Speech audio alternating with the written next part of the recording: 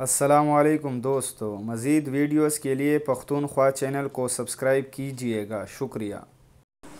مشہور پشتو گلوکارہ گلپانا کو تو آپ لوگ جانتے ہی ہوں گے۔ اس کی خوبصورتی کے سارے پاکستان میں چرچے ہیں۔ ہر کوئی ان کے ملاقات کا متلاشی ہیں اور ہر دوسرے کے من میں یہ تمنا ہے کہ گلپانا اس کی ہو جائے۔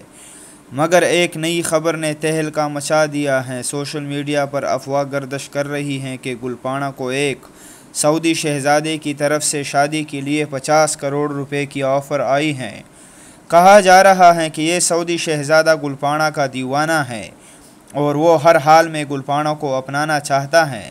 جب اس حوالے سے گلپانا کے پرسنل سیکیٹری سے رابطہ کیا گیا تو انہوں نے بھی اس بات کی تصدیق کی کہ ایک عربی شہزادی کی جانب سے گلپانا کو شادی کی آفر آئی ہے، مگر گلپانا نے صاف انکار کر دیا ہے اور وہ کسی بھی حال میں عربی شہزادے کے ساتھ شادی نہیں کرنا چاہتی۔